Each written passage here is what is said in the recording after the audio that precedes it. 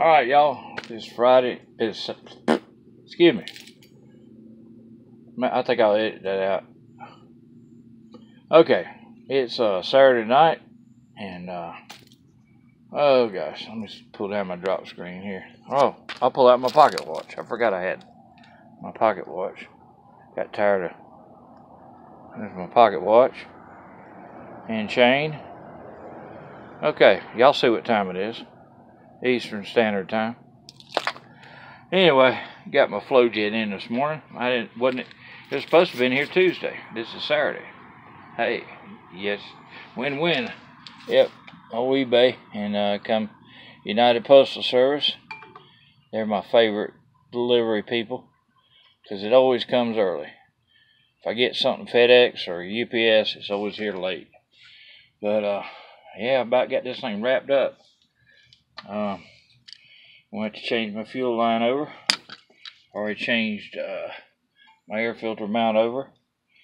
And that's about it. I gotta hook this rod up here, this whole vibration rod or whatever, mount, and uh, tighten those two screws and the choke linkage is hooked up correctly, which can be a little tricky, but I learned how to do it over time. If y'all need to figure it out, go look up a tutorial on it. I just share what I'm doing. I'm not trying to do a how-to. I've done that in the past. I'm not as good at it as other people. I just share what I've been working on. Oh, got my machete strapped in with a um, cord there. But it got kind of wet. I hope it, yeah, I think it's carbon steel. So, yep, it got a little rusty. I have to oil it up and dry that sheath out. But, uh, yeah, we're going to be storing this thing uh, out of the weather, so, yeah. But see how we, I want y'all to see this. I don't know if y'all can see it on camera. Uh, look real close. You might be able to see. That shaft is wobbly. That was part of my problem. The other problem is the needle seat wore out in this thing. So anyway, yeah, it's gonna be, yeah, I'm looking forward to cranking this thing up in just a few minutes. But uh, more to come later. I'll, I'll load up a second video. I'm not gonna try to tag them together. I'll get back into the editing process later. Uh, got me some internet back. Uh, I was uploading on the phone and using the phone for my internet, but I um, got internet back, so I'm good with that. And uh, so anyway, more to come, y'all. Um, catch y'all in a little bit.